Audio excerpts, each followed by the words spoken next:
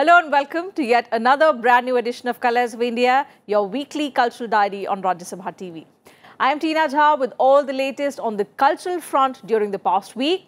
Let's begin with the highlights of what we've got for you in today's episode.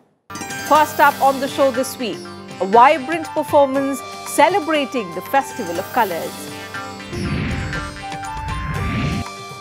Next, a treat for food lovers.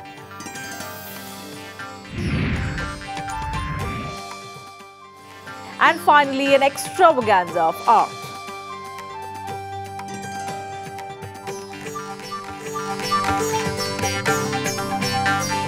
Let's begin the episode with Nritya Samaroh, presented by Sangeetika Institute of Performing Arts. The event saw three classical dance forms being presented by renowned dancers and musicians of the genre, all of whom have contributed towards preserving Indian art and culture. The highlight of the show was a piece depicting Lord Krishna and Radha playing Holi.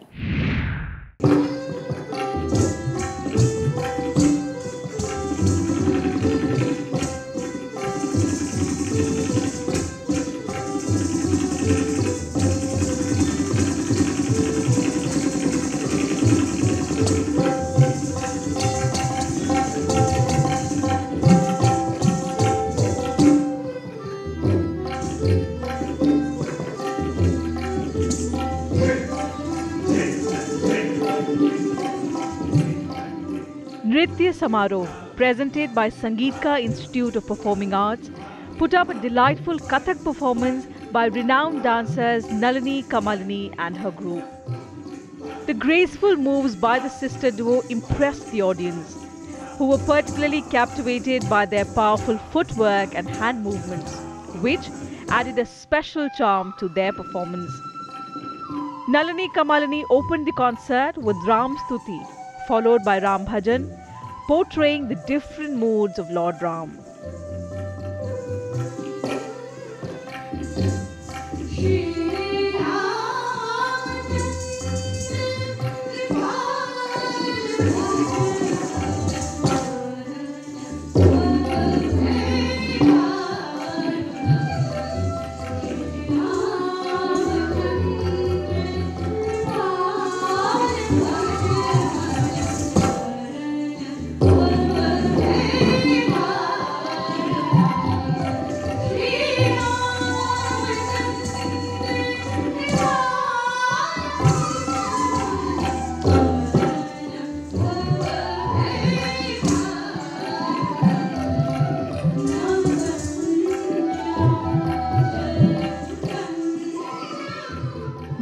Nalini Kamalini are exponents of the Banaras Gharana of Kathak and have won several accolades for their performances.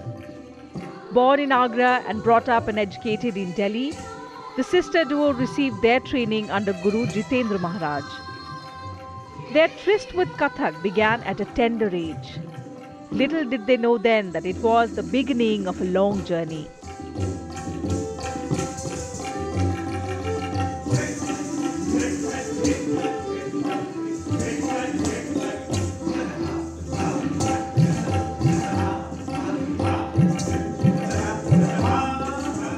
जब school में पढ़ती थी, मैं seventh class में थी, तब गुरुजी के सानिध्य में आई और मैंने नृत्य करना शुरू किया और फिर मैं मैं एथलेटिक थी, बहुत फास्ट रनर थी एथलीट थी। तो मेरे भागते पाँव को गुरुजी ने सुरलय ताल में बाँध के नृत्यांगना बनाया। मैं उनकी बहुत बहुत शुक्रगुजार हूँ। असल में क्या है कि मैं बनारस घराने से संबंधित हूँ, लेकिन मैंने मंदिर शैली के प्रचार के लिए अभी तक कार्य किया है। और ये लुप्त तो नहीं हुआ था, लेकिन थोड़ा इसका जो प्रचार था वो कम हो गया था।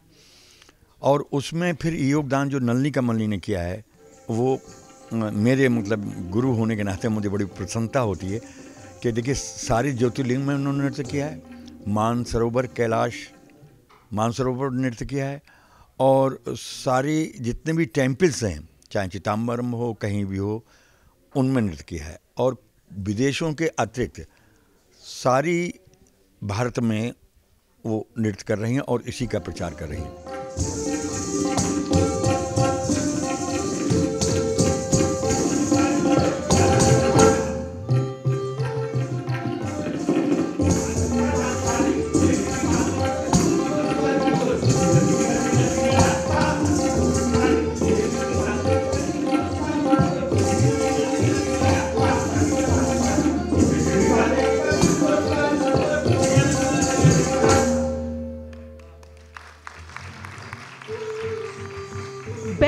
For their refined sensibilities and subtlety, Nalini Kamalini left the audience spellbound with their graceful moves and impeccable footwork. The stage presence of the two sisters was captivating, their emotiveness deep and pure, their artistry, especially their footwork, immaculate. The close similarity in their physical appearance heightened the fluidity of the presentation, leading to an overall mesmeric effect of visual continuity on the stage.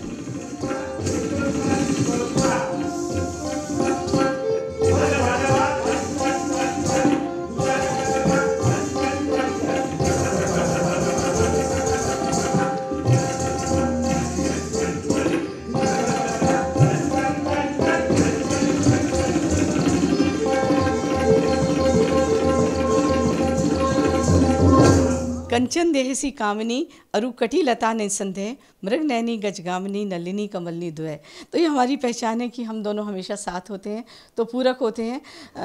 आपको आनंद आएगा और ख़ासकर जो हमारे प्रधानमंत्री की योजना है, एक भारत श्रेष्ठ भारत, हमारी संस्कृति, हमारी पहचान। तो इसी पहचान को हम सामने ला उजागर करेंगे। हमारी सोच ये है कि हमारी संस्कृति क्या हो सकती है, हमारी कला है तो उसकी क्या पहचान है? तो हम लोगों ने गंगा का एक दृश्य लिया है। एक हम लोगों ने रामायण से लिया है, एक हमने भागवत से लिया है। इस तरह से हमने जो हमारे मैथोलॉजिकल थीम्स हैं, उसमें से लेके हम लोग आज की प्रस्तुति कर रहे हैं। कुछ कथक के माध्यम से, कुछ भरतनाट्यम, कुछ मोहिनीअट्टम के माध्यम से।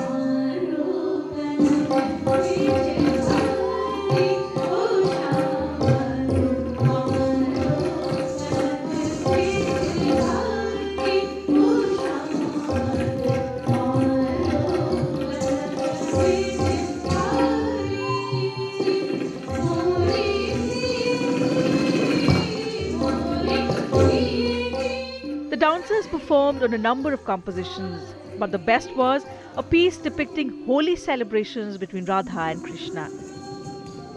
Marked by colorful performances, the concert created an appropriate atmosphere for spectators to revel in the festive mood.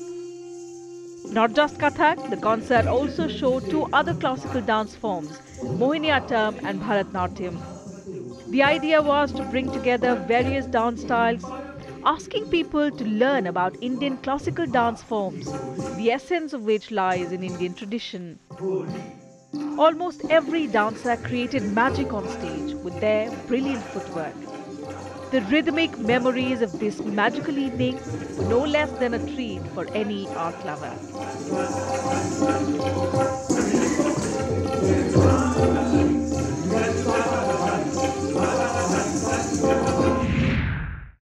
Well, the event provided a national platform to the new generation of artists as well as established senior artists. The ones who made an indelible impression on the audience were Kathak exponents Nalini and Kamalini. The veteran dancing sisters from Delhi represent the Banaras Gharana of Kathak, which is believed to be the oldest of the three schools. We hope you like this celebration of dance. With that, time for us to slip into a very short break Lots more coming up on the other side. Do stay with us. When we return, we take you to a food carnival.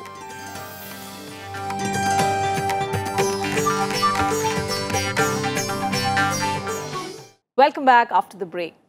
Let's now take you to India's biggest culinary challenge, the Culinary Art India. The 14th edition of the Food Festival was held at Pragati Maidan in New Delhi where food lovers witnessed live demonstrations by renowned chefs displaying their excellent cooking skills. The event also saw thrilling competitions among the chefs. Let's get your glimpses from this world-class culinary fest.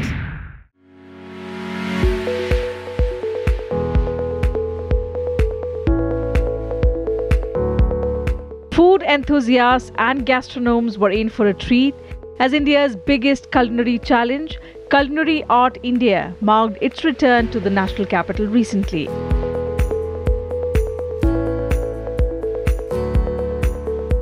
Hosted by the Indian Culinary Forum and Hospitality First in association with the ITPO, the 14th edition of the annual food event saw chefs demonstrating their culinary expertise and competing in different categories like plated appetizers, contemporary sushi platter, plated desserts, authentic Indian regional cuisine, and fruit and vegetable carving. The four day culinary festival was staged alongside the AAHAR International Fair.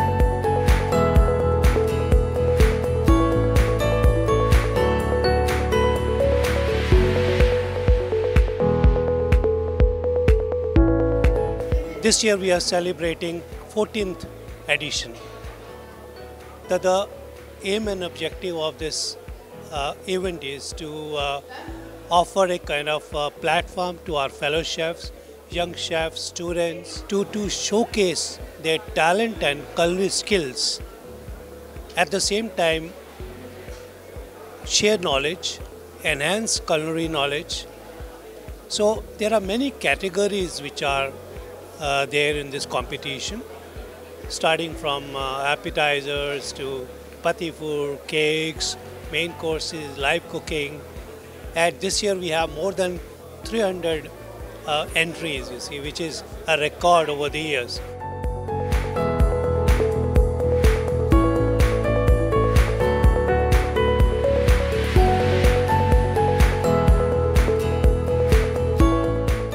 This year, more than 300 experienced and apprentice chefs participated at the culinary festival. The focus was to recognize and felicitate excellence in culinary art in India.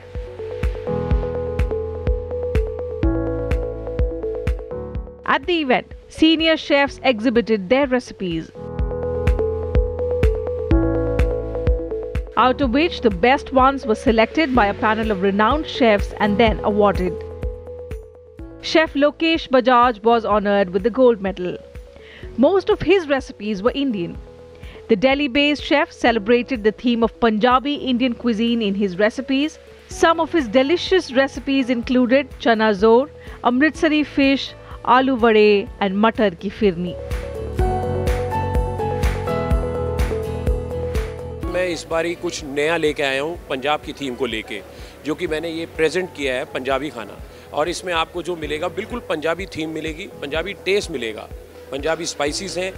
कोई भी इसमें दूसरा state का कोई खाना नहीं है। सारा कुछ पंजाब से लेके, बहुत ही एक अट्रैक्टिव मेन्यू बनाया मैंने, जिसको मैंने खुद ही क्रिएट किया है। जो कि जैसे कि मैं स्टार्टर में आपको दो तीन नाम बताता हूँ वेजिटेरियन में चना ज़ोर, जो कि बाज़ार में बहुत असल से मिलता है। चना ज़ोर को लेके मैंने बनाया है और फ्रेश काबुली चना को लेके मैंने बनाया है।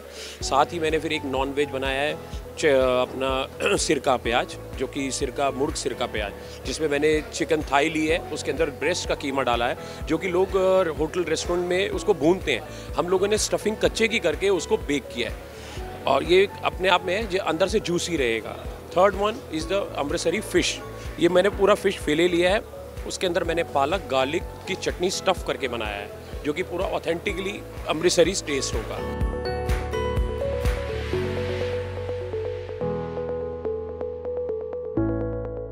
Another chef, Ankur Kishore, painted the food show in a festive mood with Rajasthani cuisines for Holi. He exhibited a variety of traditional as well as tribal Rajasthani cuisines like mutton banjara chap and tikhe mirch ke sabz kebab. He left a mark with the best use of Indian spices in his recipes. I made a Rajasthani Holi theme here. Uh, like uh, a festival season is on, and uh, I have brought in the colors. Uh, colors are very important part of life, and uh, that's why I have uh, brought in the colorful theme. Rajasthan is a state which is filled with joyous moments, and people used to spend their time in Rajasthan, and that's why I have made this Rajasthani buffet here, in which I have made mutton banjara chop uh, which is a traditional Rajasthani uh, traditional Rajasthani starter, as well as uh, I have made this uh, murke sule, which is uh, also a traditional Rajasthani and very famous uh, Rajasthani dish.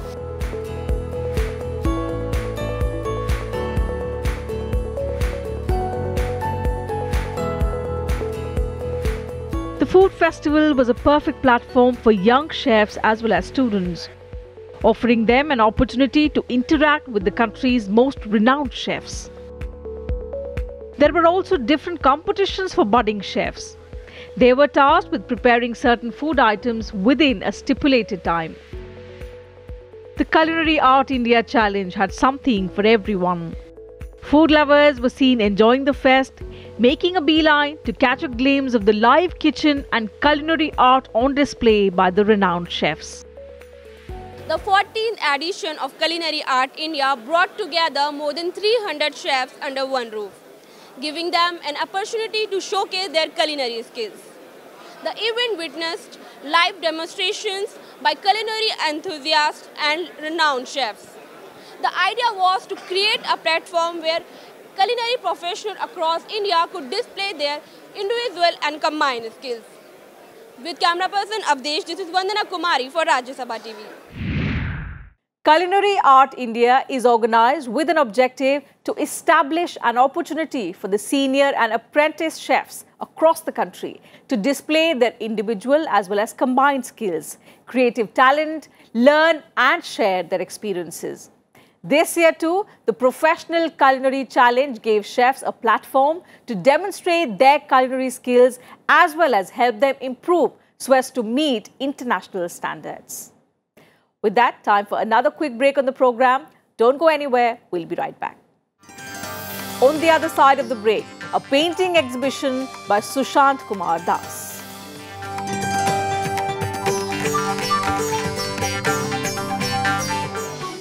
Welcome back once again. Time now to take you to a solo exhibition of paintings, drawings and sculptures by Sushant Kumar Das.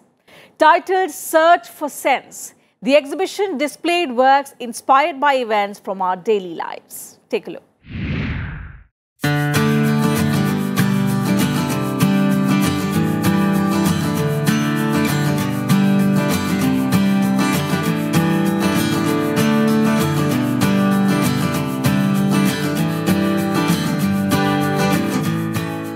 Sushanta Kumar Das's latest art show Search for Sense provided people with a glimpse of everyday life events.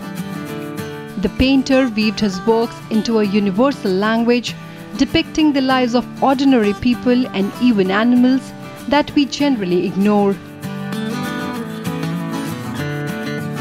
What differentiates his work from the others was his use of an imaginative interplay of form, color, and texture.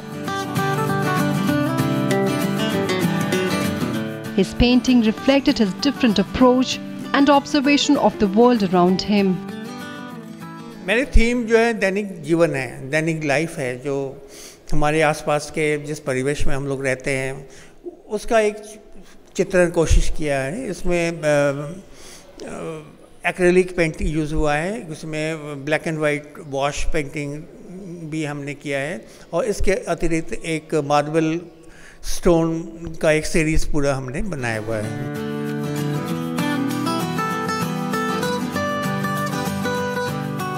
This was the sixth solo show of Sushanta showcasing different portrayals of ordinary humans and stray dogs. Sushanta's trust with painting began around three decades ago. He has also done a five-year course in fine arts from BHU. Initially, he could not devote his full time in arts because he was doing other jobs for his livelihood. But from the last six years after his retirement, the painter has been actively involved in painting. जब से मैं college of art में गया था तब से मैं मेरी रुचि विशेषकर स्केचिंग में था और मैं रोज़ स्टेशन पर या घाट पर या आपके चाय के दुकान पर बैठकर मैं स्केच करता था और कोई लोग चाय पी रहे हैं, कोई कुत्ता बाहर बैठा है, कुछ काम काम कर रहे हैं, कुछ भिखारी बैठा हुआ है तो भीख मांग रहे हैं। तो ये सारे ज़िंदगी की जो सही रूप है, वो हमको बहुत ज़्यादा प्रभावित किया है। Mister Sushant Kumar Das is, a very good example of the art that evolved in Bengal around Ramkinkar Baij and then became the art of our country. It is essentially what I call expressionism that evolved out of the Bengal school. And they were people who linked their work to the masses. You notice that in his art, you have people and dogs and crows living in the same area. So, in a sense, the scavenger, human, animal, or bird, became the symbol of these artists who saw that you live in a country where you're perfectly capable of working, but you are never given a job. And you are forced to rely on alms from the people.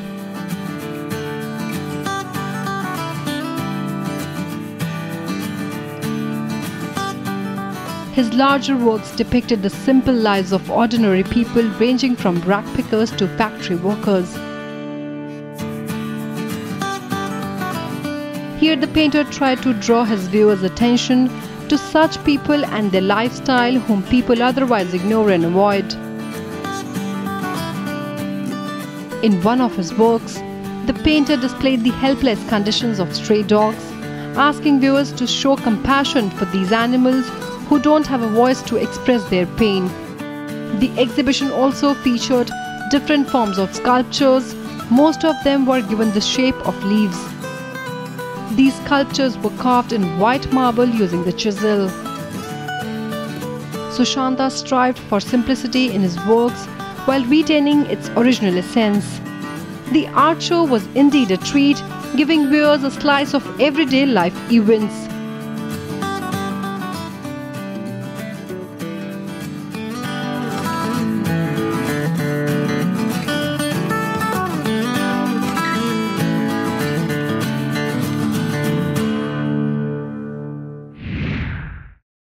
And time now for our weekly cultural calendar where we tell you all about the upcoming cultural events in your city. Theatre lovers in Ahmedabad can watch the play Macbeth being staged at Natarani Amphitheatre, Ashram Road, Usmanpura, 8.30 pm onwards on 29th of March. Mumbai will host the event Amartis Trio at Experimental Theatre NCPA Nariman Point, 7 pm on the 18th of March. The Holi Music Fest will be held in Bengaluru at the Bangalore Gayan Samaj, Krishna Rajendra Road, 6.30 pm on 24th of March. Dance drama Krishna will be held in New Delhi at the Kamani Auditorium, Copernicus Marg, Mandi House, 6 pm on 22nd March. And a Hindi play Ballygunge 1990 will be staged at GD Birla Sabhagar, 6.30 pm on 23rd March. You can also send us details of important cultural events taking place in your city. You can write to us on sabrang.rstv at gmail.com. We'll try and include those in our weekly cultural calendar. You can also send us your feedback and suggestions about our program. In case you missed the television broadcast, you can watch the episode on YouTube and Twitter. So that's it from us this week on Colors of India. We'll be back same time next week with another brand new episode. Until then, take very good care of yourself. It's a goodbye from the entire team.